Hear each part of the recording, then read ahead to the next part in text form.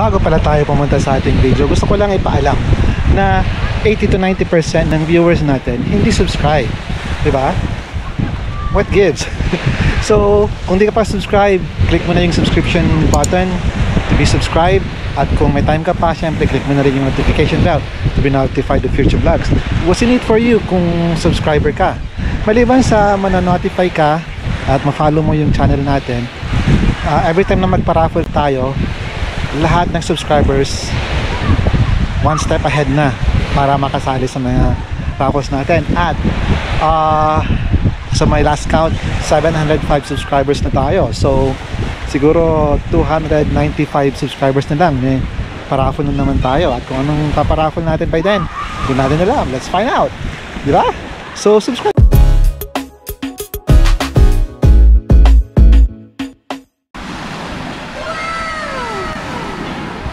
Magandang araw mga kakarampot, welcome sa panibagong vlog. Bago nagka-pandemic, bumili ako ng isang maliit na ultralight na tent. Dahil may balak kami noon na mag-winter camping sana kasama yung mga iba kong camping friends. Hindi yung usual na nakikita nyo sa camping videos ko. Pero meron din akong set out camping friends na mas mahilig sila sa mga medyo extreme na situation ng camping like backcountry at yun nga yung balak namin before nag-pandemic na i-check off sa list namin ang winter camping. Kaso nagka-pandemic at nagsara lahat ng provincial parks, national parks ng mga campgrounds uh, bago pa namin na isagawa yung plano namin mag winter camp. At ngayon mukhang medyo matatagalan pa bago mangyari yon so yung, yung nabili kong tent di ko man lang uh, nailabas sa lalagyan niya. Although na-ready ko na siya before panong uh, pandemic. Uh, so yun di ko pa siya nabubuksan. At gusto kong gawin ngayon para sa video na to na i-unbox siya at subukang i-set up. Okay? Para pag gagamitin ko na ulit. Eh alam ko na kung paano siya i-set up at hindi aanga-anga di ba? So yun ang gagawin natin unboxing at preview ng ating Gear Top 1 person 3 to 4 season tent. Okay, so ano pa hinihintay nyo? Let's go! LOL! So yung ating BB tent nandito sa loob ng uh, handlebar bag ko. So kasyang kasya naman parang uh, sakto lang talaga parang sinadya no. So dito natin kukunin yon, okay?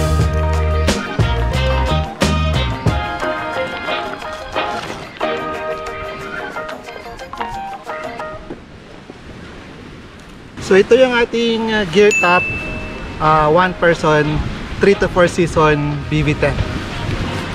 Pag BB tent, ang ibig sabihin nun, uh, pang one person lang talaga at maliit siya. Um, kumbaga, hindi ka pa nga pwedeng tumayo sa loob ng tent. So pang ultralight uh, backpacking lang siya. Okay, so tingnan natin anong nasa loob.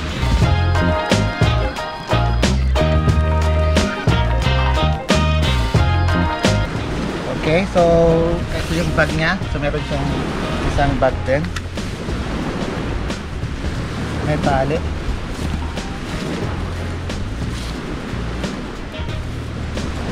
Okay. So I guess ito yung mga pegs niya. Uh, holes. Uh, rain fly. Ah, I'm wondering kung may tali. Ah, mukhang may tali sa loob ng pegs. So, rain fly. At ito yung tent mismo. Okay. So, what we don't have ay um, yung pupunta sa ilalim ng tent. Okay. Wala tayong tarp para sa sa ilalim. Hindi ko na matanda ng tawag doon. Footprint ba tawag doon? Okay.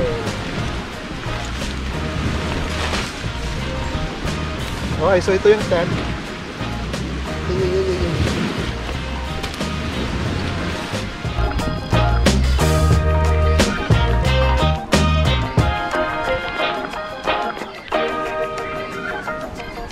Okay.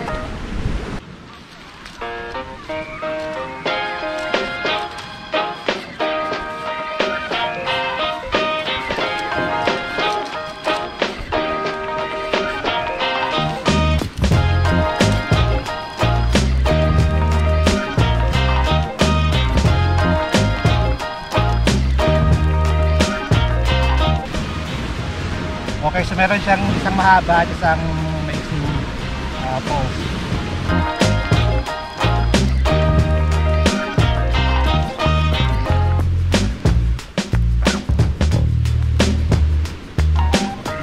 Tapos meron siyang hook sa sides.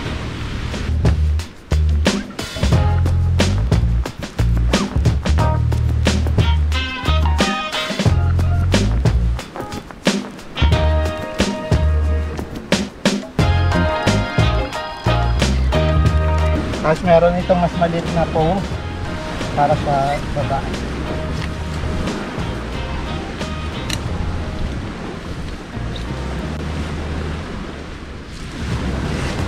So I guess this is a one-man job dahil one person set na sa dito. Kasi sanay ako na nag-set up ng two person set na lang kasama.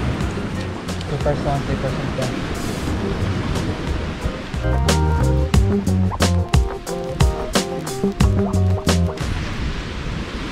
Think nagkamali ako sa pag-setup sa siguro dapat nilagay ko muna yung size. Yeah, I I have put the first first. Okay, so we learn from our mistakes. Siyempre, first time kong gawin to. Pegs muna pala para hindi gumalaw yung cell.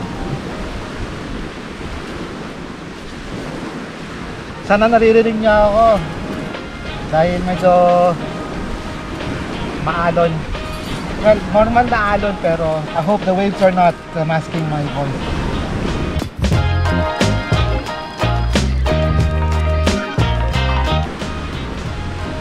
Ayun, maganda yung quality ng uh, tape ng ng pegs niya. No?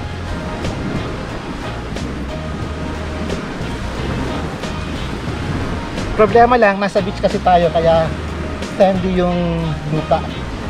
So, it's not really ideal. Pero we'll make do. Nandito na tayo.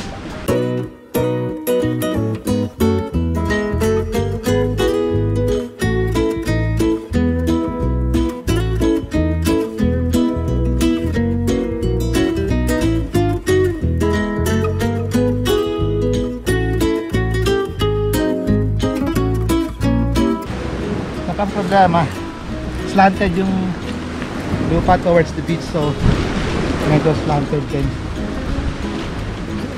Pero this is just for trial di ba? So walang, walang masyadong kaso. Okay. So yung cord parang glow in the dark.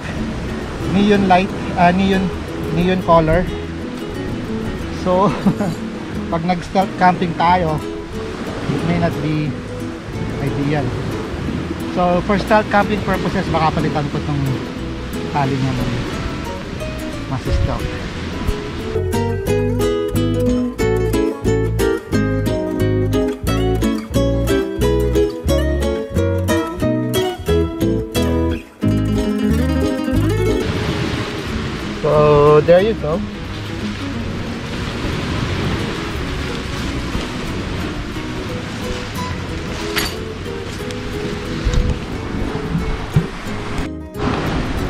So yan yung pinaka tent mismo.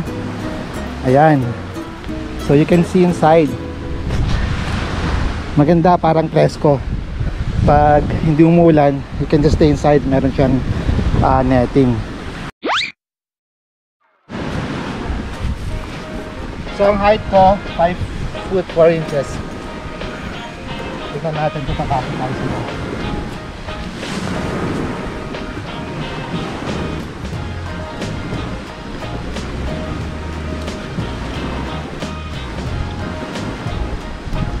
Okay. Aba.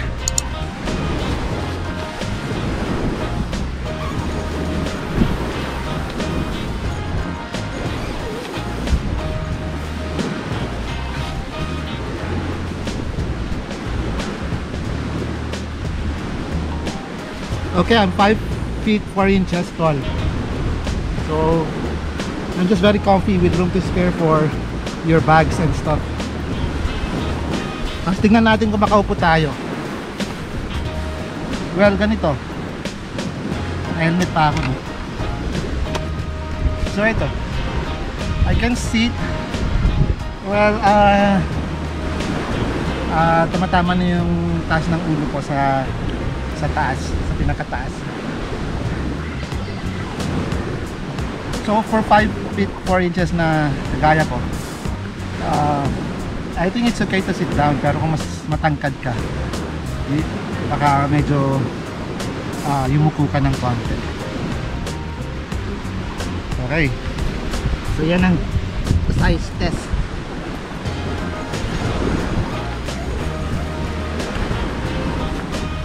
Okay try natin. Okay so try naman natin ilagay yung ah bagong lahat so meron din siyang netting no? Pwede mo siyang i-roll either palabas o pataas. Meron siyang ganyan no? So yan. Meron din siya doon. At ganito rin sa kabilang side. So whichever whichever way you prefer to have your door it can work both ways. Okay next. Uh, try nating ilagay yung uh, rainfly although mukhang hindi naman uulan pero for the sake of trying and for the, preview ilagay na rin natin di ba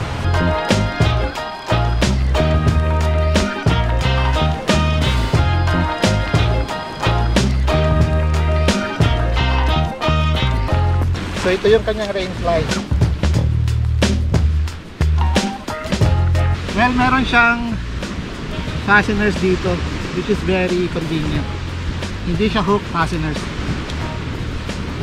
You know, fasteners parang sa knapsack. Hindi siya hooks. So ipa-fasten mo lang siya. Ah, Let me show you. Ganito lang siya.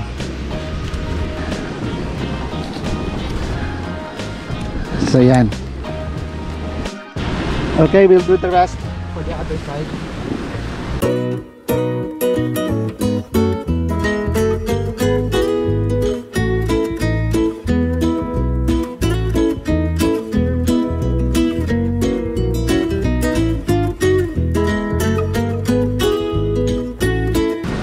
Okay, so nakita nyo nilagay ko yung sapatos ko dito dahil nakita ko na merong ah, room pala dito. Okay.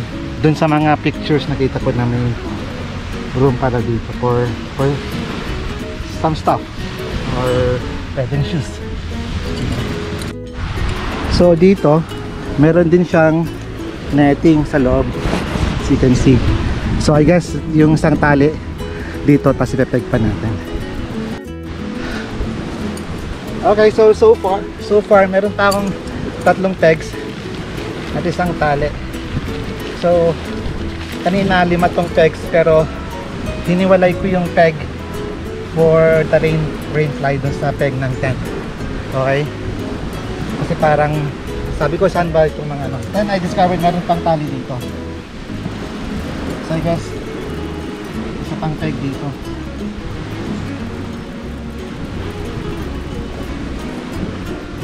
At syempre sa kabila.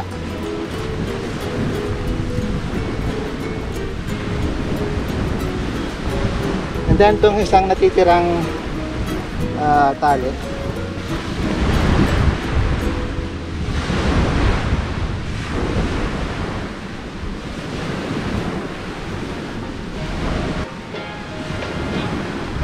Okay. Ang problema ko sa sand, kung hindi matikas sa loob, malambot naman. Pero nandito na tayo eh. Pero at least, alam ko yung nasahan ko pag sakaling try kong mag-start from sa I mean, hindi ito pang matagalang installation. It's just for this afternoon, hindi tayo matutulog dito ngayon. So, there you go. Di ba? Ah, syempre marami pang kulang to. Kailangan ko pa rin ng tarp sa ilalim. At kailangan ko rin ng pang cover sa, sa bike kung sakaling mag bike camping tayo. Para kunwari stealth camping. Hindi siya mapapansin.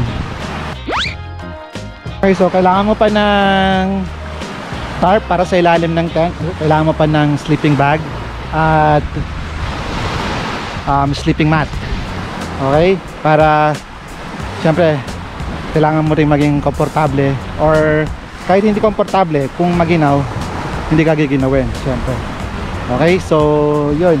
Meron na tayong mga ganon na gamit pero syempre hindi ko dinala lahat. Dahil gusto ko lang talagang i-try itong bibitan so ito yung setup niya no? Okay. So meron siyang uy meron siyang velcro and then meron siyang zipper. Yun no? So this one you can fold. Then yun.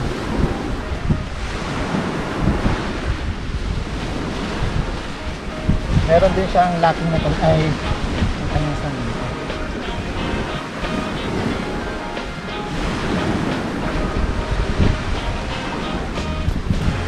yun no? That's how it looks eh? And then oh, kung hindi naman maulan buksan itong netting niya ganun din.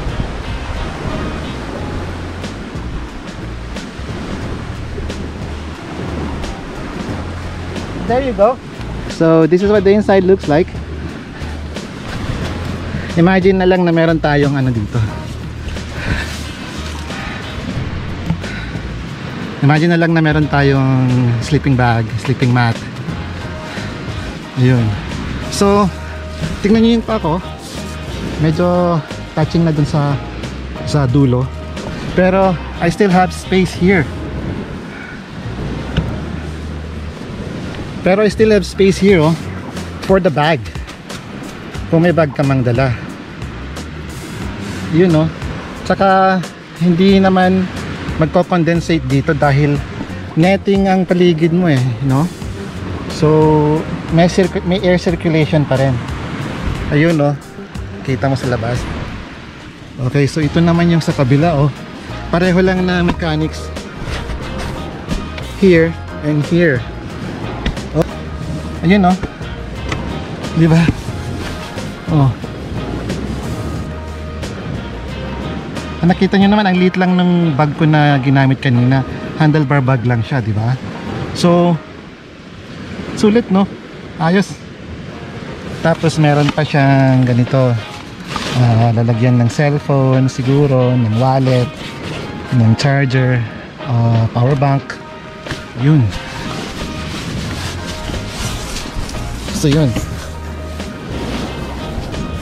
Ganito rin sa kabila oh oh then pwede mo rin siyang yung ano tong yun oh pwede mo rin siyang buksan sa kabila So whichever side you wanna go, ayos lang. So I was debating between using this one and hammock, no? I admit, yung hammock mas magaan dalhin. Pero sa tingin ko, dahil na-experience ko nang i-set up to, mas uh, hassly, hassly, hassly set up yung hammock. At saka kasi, yung hammock pwede lang gamitin pag syempre may puno. Di ba? Eh ito kahit walang puno kahit uh, basta may flat ground okay ka na. Okay so you know and then here. Look at that view man di ba?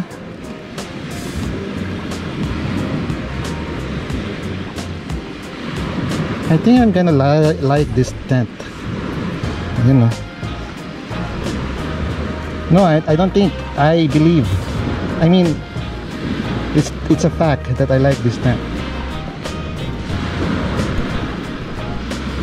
Aba may tali pa dito. Oh okay. Okay there you go. I tied up the rain fly to the pole. Ayos. And I would do the same sa kabila. And then you have a really sturdy tent.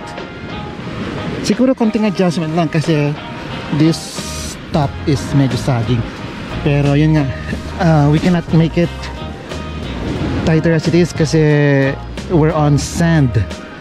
So medyo tricky yung paglagay ng pegs. Ayan, yun lang. Medyo tricky yung lalagyan ng pegs.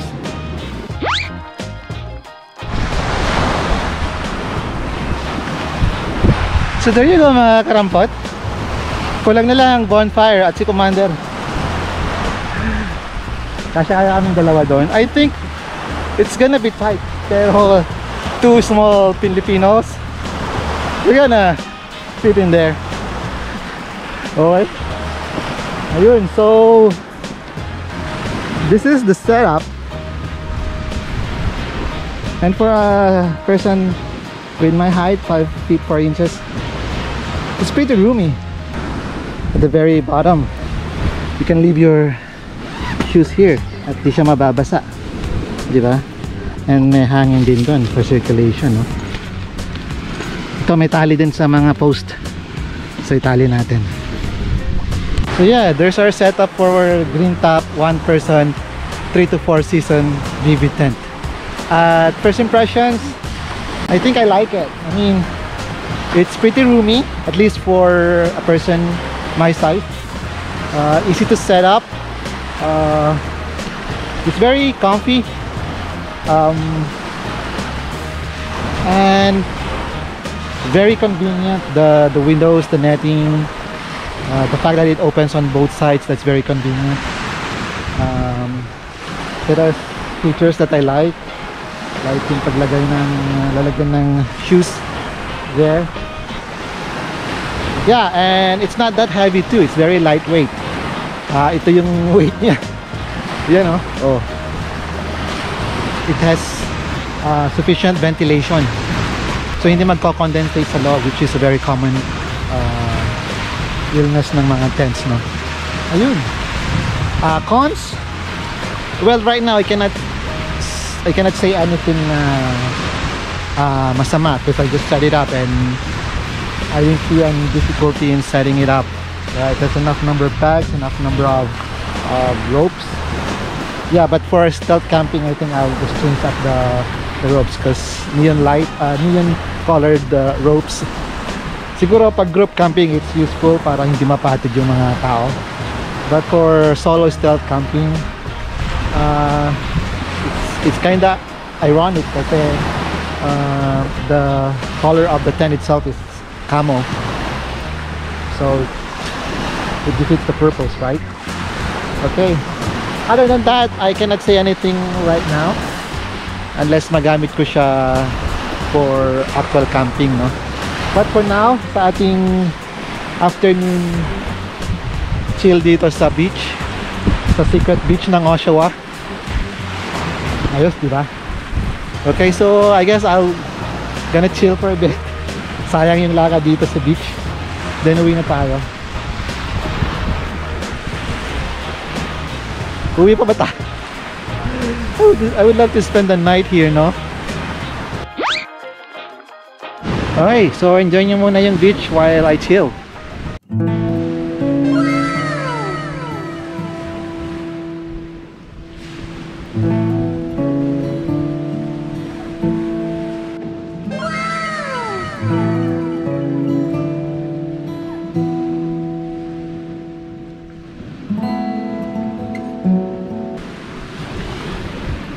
Sarap dito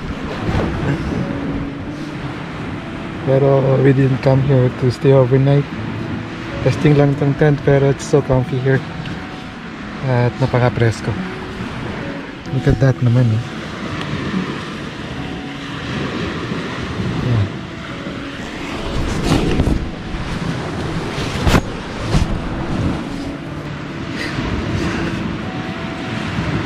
Na ako ng antok eh. Pero yun nga dinalabanan ko kasi baka kunin yung bike eh. may mga konti-konting tao pa naman na dumada sino naman ang hindi antokin sa ganyang view at ganyang sounds di ba? Sige na nga pack up na tayo. Ah, ang sarap pa naman dyan sa loob. Ah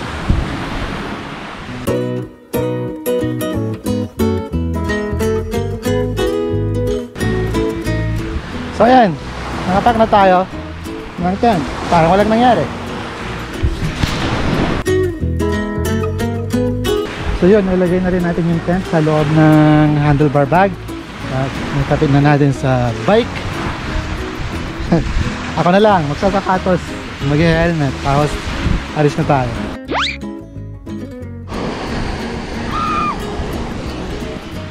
so yun guys, nakapag-shoes na tayo, nakapag-helmet na. Na yung bike. At nandito na rin tayo sa medyo hindi kalibliban na part ng pinuntahan natin. So I guess that's it for our video for today. Sana nag-enjoy kayo. Kung di naman kayo nag-enjoy, sana natuto kayo. Kung di naman kayo natuto, sana nag-enjoy pa rin kayo kahit pa paano. Okay, so medyo ano na to, family area na kami na naglalaro doon, nagpipiknik doon, may mga bata. Okay, pero yung pinuntahan natin medyo medyo hindi pa dito. pero this is the way to go there. Yun. Anyway, so yun, maraming salamat sa inyong panonood. Don't forget to like, comment, share, at ang pinaka-importante sa lahat, mag-subscribe kung di pa kayo subscribe. At kung may time pa kayo, click nyo na rin yung notification bell to be notified of future vlogs. Okay, so hanggang dito na lamang. Maraming salamat. Hanggang sa muli. على